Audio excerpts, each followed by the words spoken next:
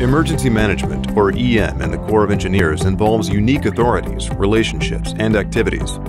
This video is intended to provide a basic awareness of the high-level roles and responsibilities of USACE during disaster response and recovery. This 30,000-foot view of USACE disaster operations is provided for USACE military personnel and others who are not normally in but are considered part of the extended EM community of practice and may find themselves engaged in disaster response activities.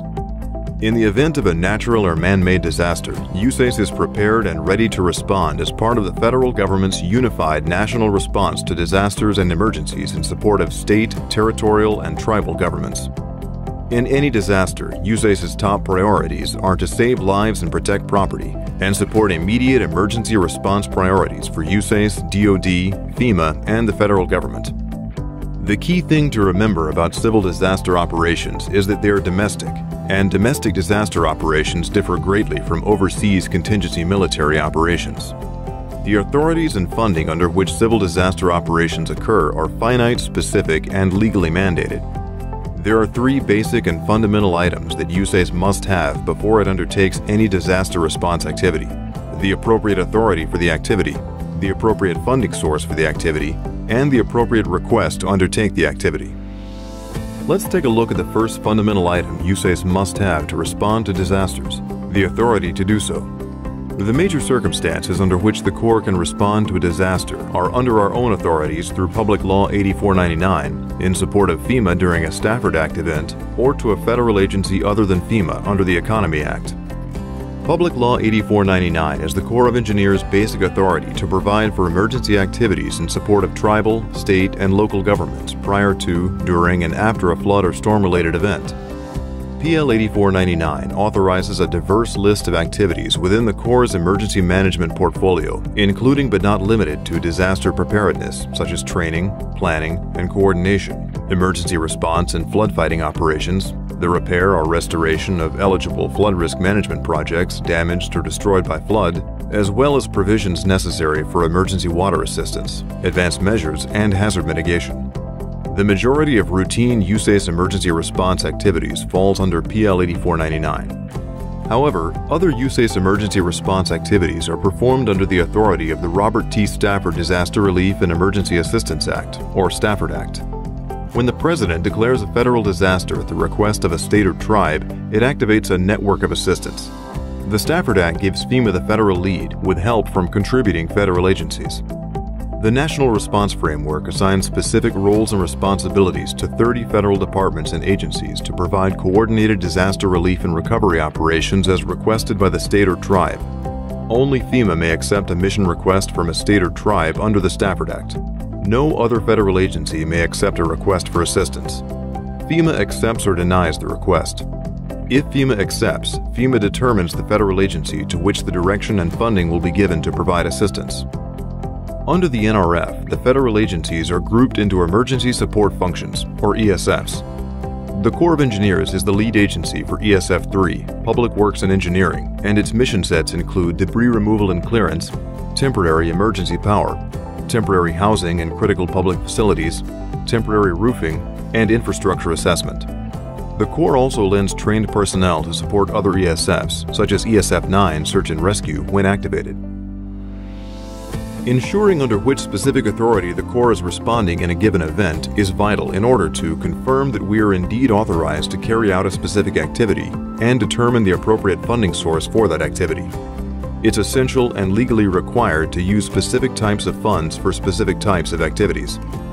Maintaining and allocating appropriate funding during disaster response operations can be extremely complex, and failure to do so can result in an Anti-Deficiency Act, or ADA, violation. This brings us to our third fundamental item USACE must have to respond to disasters, a request to do so. It's important to remember that regardless of the applicable authority, USACE is never in charge of the overall disaster response. PL 8499 authorizes the Corps to support tribal, state, and local authorities in applicable disaster response and recovery efforts, but we do not lead those efforts.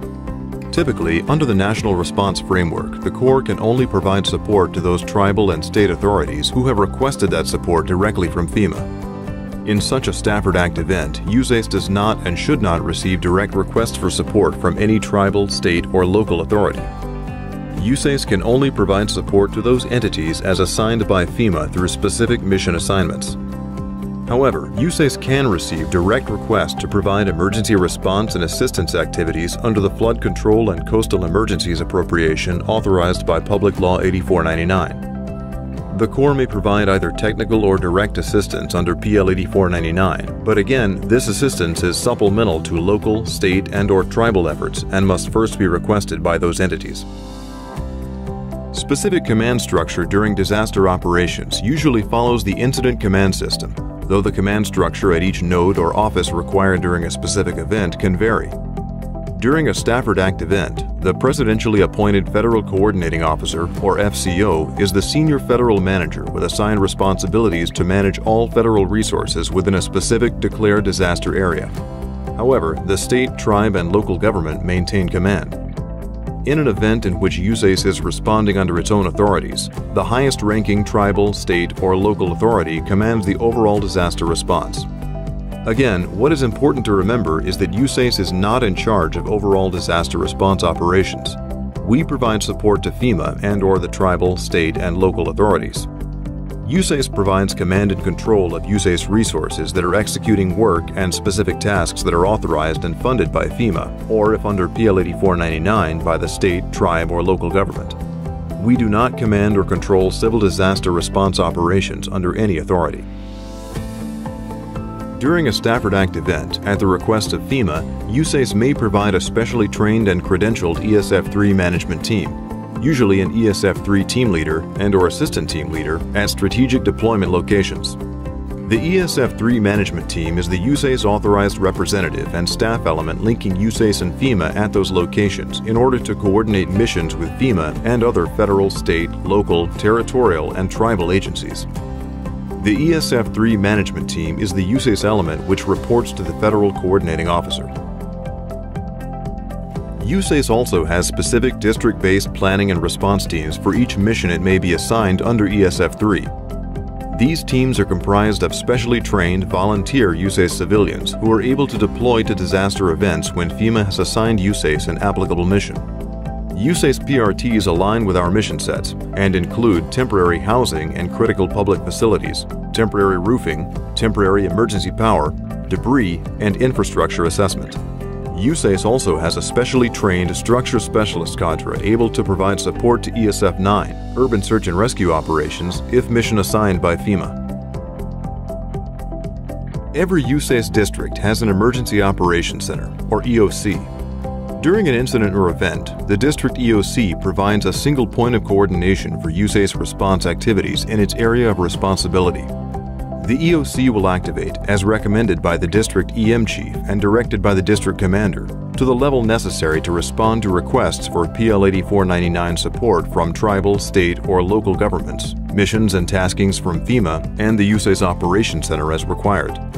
While an EOC can be activated under a variety of conditions, there are two primary circumstances that dictate variations in the concept of operations.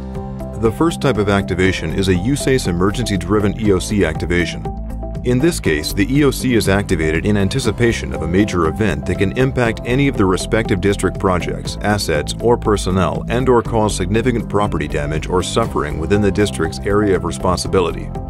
The second type is a FEMA-driven activation, in the event of a presidentially declared disaster in the district's AOR. This activation is in support of USACE assigned FEMA activities under the National Response Framework.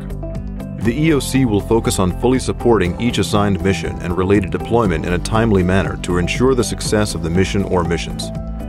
Division Readiness and Contingency Operations, or RCO offices, are the EM component at the Major Subordinate Command, or MSC, level. Every district is associated with a specific MSC, and during an emergency event, the associated MSC will also activate their EOC to support the impacted and supporting districts within that division, as necessary. When activated, the purpose of the Division EOC is to receive mission assignments from FEMA and provide these mission assignments to the supported and supporting commands for execution. In addition, the RCO EOC provides a second level of coordination for the resources necessary to support the event. For example, the Division EOC will assist with the coordination of support forces or response personnel from throughout the Corps to the impacted district within the MSC.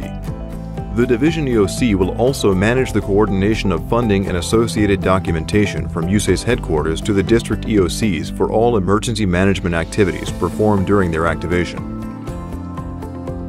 Remember, the emergency manager or RCO chief and his or her EM or RCO office serve as a district or division commander's advisor and subject matter expert during disaster operations. The civilian professionals in district and division EM and RCO offices have a wealth of knowledge, expertise, and experience. They are your primary source for all things related to USACE disaster operations. USACE EM civilians can answer technical questions and provide information, guidance, and recommendations to command staff and others before, during, and after an event. Be sure to utilize this important resource as you begin to learn about USACE disaster response operations in greater detail. This video provided a rudimentary overview of the roles and responsibilities of USACE during disaster events. As we've learned, both USACE emergency management and civil disaster operations are intricate, dynamic, and constrained by multiple authorities, laws, and regulations. To learn more about the role of USACE in disaster operations, visit your district EM office or division RCO office and consider watching these additional videos.